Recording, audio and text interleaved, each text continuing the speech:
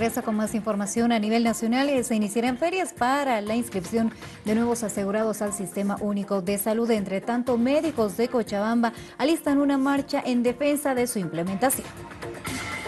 El Ministerio de Salud va capacitando al personal para la inscripción de nuevos beneficiados al Sistema Único de Salud actividad que se masificará en ferias nacionales. Bueno, el día 2 comienza en todo el territorio nacional. Se han capacitado más de 10.000 personas entre profesionales de salud, del Ministerio de Salud, entre trabajadores, funcionarios de los servicios departamentales de salud. Esta va a ser una inscripción que la hemos denominado pasiva porque se va a llevar a cabo en cada uno de los establecimientos de primer nivel del territorio nacional. Asimismo, desde el fin de semana se tiene programado ferias nacionales también en todo el territorio nacional, donde también se van a llevar a cabo las inscripciones.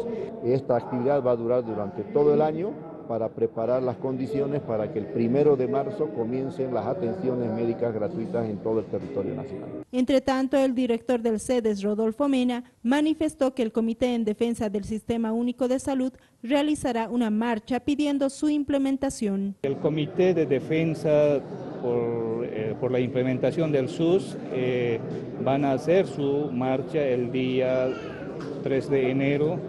Eh, a, las 3 de la tarde. ¿ya? Entonces, consideramos de que la población está tomando conciencia de que esto es un derecho adquirido y lo cual mm, la población necesita defender su derecho, porque eh, no son, les decía, no son todos los médicos, todos los trabajadores en salud o profesionales los que están en contra.